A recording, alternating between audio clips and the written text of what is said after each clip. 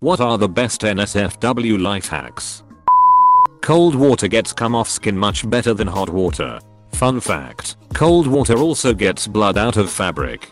I can finally get those murder stains out to my carpet. When 69 is the guy under the gal, have your arms under her thighs, no over. Diagram needed? Water by the bed or adjacent to sex setting minimizes reducing the mood while keeping you hydrated and hopefully cramp free in those long bouts. If you're using water based lube, keep a spray bottle full of water nearby. Just lightly mist when lube starts to get gummy. Instant lube rejuvenation. And towels. Have a few on hand. Lube and sex juice get everywhere. I'm sure this is actually good advice, but the thought of pulling out a spray bottle and misting someone's vulva is cracking me up. Buy a fuck blanket, you throw it out, and can romp for hours without soaking the sheets. Throw it in the wash and you're done. Also travels great. Edit. I should also mention that a quality fuck blanket doesn't allow water or lube to soak through. So more of a fuck tarp rather than a fuck blanket. Hey babe, did you set up the fuck tent? Ask your partner what they like, or don't like, or always wanted to try. Alternatively, just poop right on their chest. You have a 50-50 shot of them loving it. Farts will come out quicker and smoother if you're laying on your left side. Has to do with how your bowels are situated. This is a godsend in bed at night during the two days leading up to my period. Laying on your left also works for heartburn BC of the shape of your stomach and the esophagus attaches more towards the right.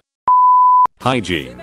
Trim your fingernails. Long nails hurt. Also, if you know in advance you are getting lucky but haven't showered the entire day, take one. But don't trim your nails just before, though. Or use a nail file.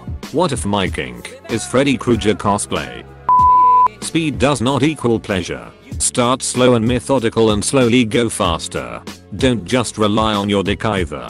Whisper in her ear, kiss her neck, kiss from her neck to her pussy and once you get down there really give it to her and tell her how much you love her body and how good she makes you feel or bad if that's what you're into. Also when eating pussy don't just lick.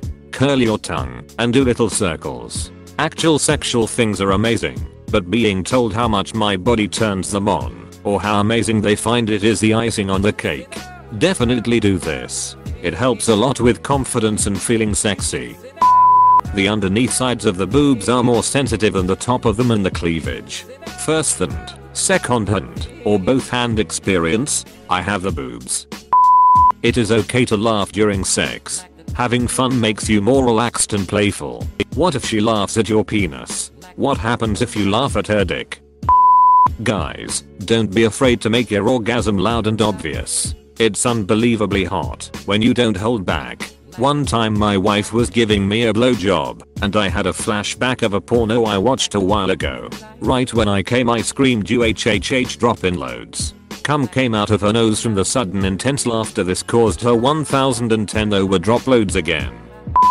Thinking of receiving anal in a few minutes and douching beforehand? Wetter is not better. If you use too much water and it gets into your colon, it's coming back out in a few minutes with force. Stop when you just start to feel pressure.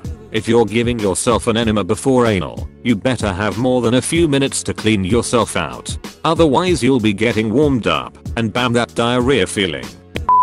When licking her clit, put one hand on her mons pubis area and gently press upward to pull her skin and labia taut. This exposes the clit and adds to sensitivity. My ex did this all the time until I caught on and made it part of our thing. Current partner approves. Edit. It has been brought to my attention that I made a typo. Indeed, it should be mom's pubis. Current partner approves. How the fuck does having my hand on her mom help?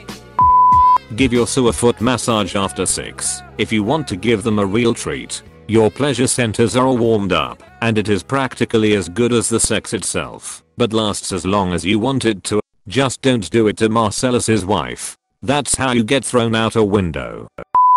Gently put pressure on a woman's lower stomach while having sex. It helps both I've found. So where would you suggest putting the chips and salsa, then? Keep your hand around the small of her back and make sure her clit is rubbing against your pelvic bone edit, or if the position doesn't cater to this, Get a bullet vibrator and use it half a use it. Put a pillow under her lower back, and same with pubic bone on clit action. Thanks for watching. If you liked my video, go ahead and check out my other content, and also don't forget to like and subscribe for new videos. If you loved the video leave a comment.